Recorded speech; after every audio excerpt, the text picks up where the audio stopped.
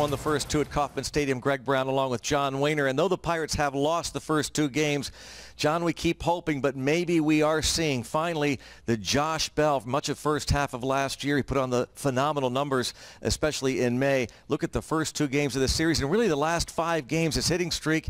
He's being patient. He's hitting the ball hard.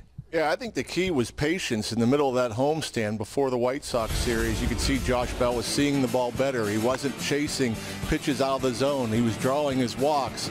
And it's kind of carried over to this series where not only is he seeing the ball good, he's hitting the ball very, very good. A homer in each of the two games. Turned around 97 there into the gap the other way, using the whole field line to line and, and hitting with power the Jimmy John's Freaky Fresh Take. Look at the numbers. By the way, how about this, John? Four swings and misses from Bell over his last five games. Only four. 17 swings and misses from his previous six. Yeah, that is key. And that, goes to show you that he's not chasing the breaking ball out of the zone or chasing the changeup. He's seeing the ball and hitting it well. Adam Frazier also, though he's not necessarily hitting the ball far and crushing it, he's still getting his share of hits. He did have that home run last night. Yeah, nice to see. Normally when he swings the bat a little bit better, he starts driving the ball, creating a little more backspin, and we saw that last night. He turned around some velocity and hit a rocket out to right center field. Since August the 29th, covering 14 games, look what he's done. 16 for 46, a 348 batting average,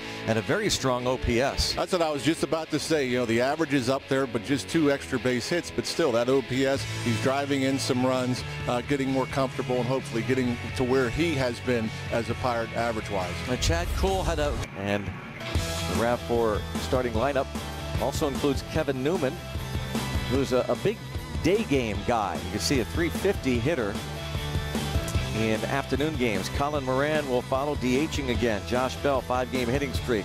Gregory Polanco will be followed by Bryan Reynolds and J.T. Riddle. Cole Tucker hits eighth. John Ryan Murphy is the Pirates catcher. See if the Pirates offense can do something here for Derek Shelton's ball club that uh, is now 14 and 29 as Brad Keller delivers the first pitch. And a fastball that I know John's going to talk about. And one pitch, one out is Alex. Fastball slider throws over 61%. As you see, he's 3 and 2 with a 260 ERA with an average velocity fastball, 92, 93 miles per hour, and just a slider. And you know, and he gets some ground balls, but his four-seam fastball, they don't have an extra base hit against him That's, this year. Check out the Honda defense behind him. You've seen Merrifield and Gordon on the corners. Nick Heath starts in center. Kelvin Gutierrez, Alberto Mondesi on the left side of the infield. Nicky Lopez at second. Hunter Dozier at first. And Salvador Perez catches all three games. Just recently back off the IL. There's their first year manager. Whit Merrifield will lead things off. Alberto Mondesi, a career high nine game hitting streak. He's homered in three straight games. Salvador Perez will be followed by Maikel Franco, the DH. Hunter Dozier is at first. Alex Gordon bats in that sixth spot of the order. Kelvin Gutierrez, Nick Heath, Nicky Lopez for the 19 and 28 Royals. They've won five in a row.